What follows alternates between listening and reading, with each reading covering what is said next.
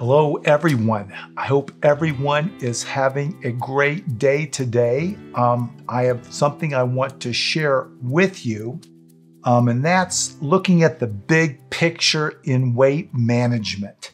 Um, the key principles. I think we need to go over them to ingrain them in our neuro pathways so we have something to pull back on. And also, I'm going to give you a little bit about what I do when something doesn't go right, especially in a weight management plan. Um, before we do that, I want to share a biblical text with you, a biblical prescription. And that's found in Romans, Romans 11, verses 29. For the gifts and calling of God are irrevocable for the gifts and calling of God are irrevocable. So let's hold on to that as we talk a little bit about weight management. We've done that since the beginning of the year, as many of us are struggling with this. Um, it's a it's a disease, um, obesity affecting at least 42% of Americans, and it's growing worldwide. And unfortunately, 70% of people now overweight. So it's a problem that we have to address. And we've talked about some strategies, and I've been so moved with that this year that our ministry, Heartwise Ministry, is going to try to come up with a tool this year that we can develop during the year and give to everyone next year um, a tool that we can give to people that will help them long term. So I know these videos help in the short term in our prayers for each other in the comments. And oh, thank you so much for the comments. They've been so helpful. But I want to focus us on today is some just some key principles in weight management, the big picture. And these are the big picture that apply to most of chronic disease. So these are big ticket items that I want you to put in yourself because they help not only in weight, but they help for everything. Number one, I can't tell you how important it is to worship. Worshiping God through the Bible, through accepting His Son as your Savior.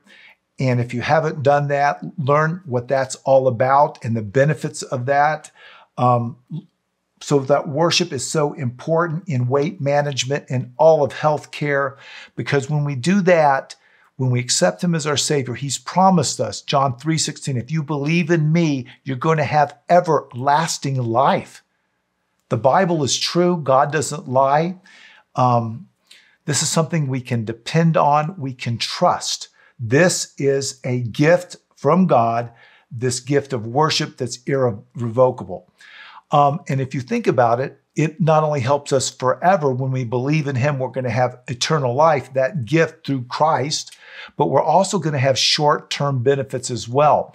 We have known in the studies and people that worship as little as 10 minutes a day, they make less adrenaline, less cortisol, less inflammatory markers.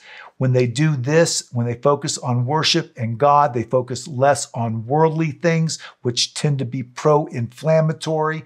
And all of these things are keys to plugging into um, a weight management plan. So, worship, it gives us the power to do things um, that's not necessarily of ourselves. We need a higher supernatural power to get these things done. Um, a second big picture item is water. We've talked about that water, hydration, um, being well hydrated. When we're not well hydrated, it not only makes us more hungry, it turns on our stress chemistry. Water fills us up, does so many good things to help us in weight management. Just drinking water and giving up other beverages alone, you could probably lose 10 pounds a year just doing that and nothing else. We talked about water. Um, movement. Movement helps us burn calories. It increases our basal metabolic rate. When we move, it helps us with inflammation. We also help our endothelium. When we move, we make more endothelial progenitor cells, which protect our endothelium from damage. But basically, when we move, it helps us lose weight. When we sit, we don't burn calories. So, movement is a principle in a weight management plan. So, what are they? Worship, water, movement. What's the next one? Eat more plants. Plant based diet. Eat more fiber. Fiber fills you up, has very few calories. In fact, on weight management plans, you can eat almost as much vegetables as you want. And remember, make sure you put a healthy vinaigrette or something on that on top that's not loaded in calories. So eat more plants. Stay away from the high condensed caloric foods that we see in fast foods, processed foods, that type of thing. Less of that, more of the fiber filled foods. So that is number four. Number five is rest. Um, when we get enough rest, both rest at night and rest in the daytime, we have less stress chemistry. Our dopamine levels are improved. We don't depend on food and those things for that quick feel good type of thing. Um, and if we think about resting at night, taking a weekly rest, um, and also with that comes the spiritual rest. So those are five big picture items that apply for everything worship, water, movement, more plants and fiber, rest. Those are the basics that apply to every chronic disease. These are big picture items. These are key principles in weight management and chronic disease management. So try to keep those in and start working on those. Now, other things that help in weight management we briefly mentioned eat more breakfast, less at night, intermittent fasting, stay away from meals at night if you can. Um, small portions, getting small plates, having a community that encourages you. Um, if you need some extra um, information, go to nutritionfacts.org. Dr. Greger, who's been a guest on this program before, has wrote a book called How Not to Diet that is very good. Well, there's going to be times when you have setbacks. There's going to be times when you have mud on the windshield that you need to turn the windshield wipers on. Well, that's when you need to go to the promises of God. In all thy ways acknowledge him. He's going to direct your path. Seek ye first the kingdom of heaven. If any of you lack knowledge, let him ask of God. All of those promises help turn on those windshields. So what do I do? Let's say I have a bad day. Let's say I have a bad eating day. And this is going to happen from time to time. Am I going to give up? No, I'm not. I'm going to say, I have a bad day. I'm going to find three things to be happy about, three things to thank God for. I'm going to claim the promises of God. I'm going to take a few deep breaths, find some things to be happy about, and move on to the next day.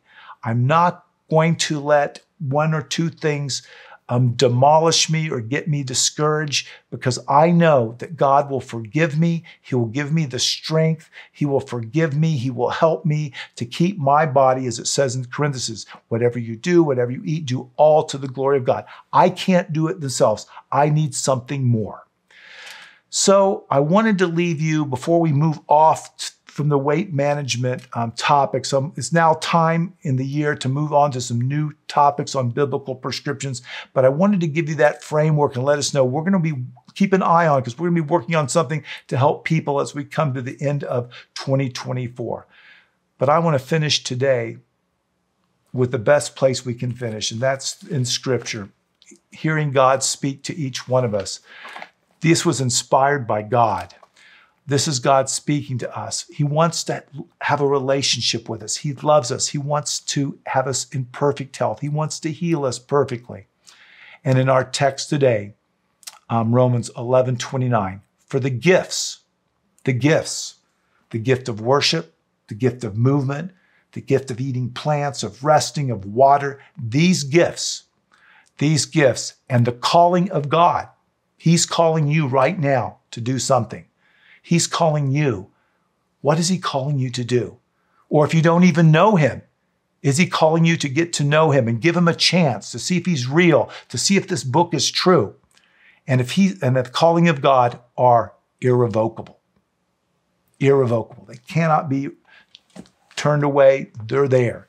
So His calling of you, His gifts that He's given to you, those are something that, according to Romans 11 29, we can put it in the bank. It's, we're assured of these things. So remember the principles, remember the scripture, remember the big picture. Continue this year to work on weight, encourage others, stay in a community. We're going to be working on a product that will help you. Be sure to give this a thumbs up. If you haven't subscribed, subscribe. Share it with your friends and neighbors because they this is might something that might touch their heart that they might really need to hear today. And I'm going to be back very soon with yet another biblical prescription for life.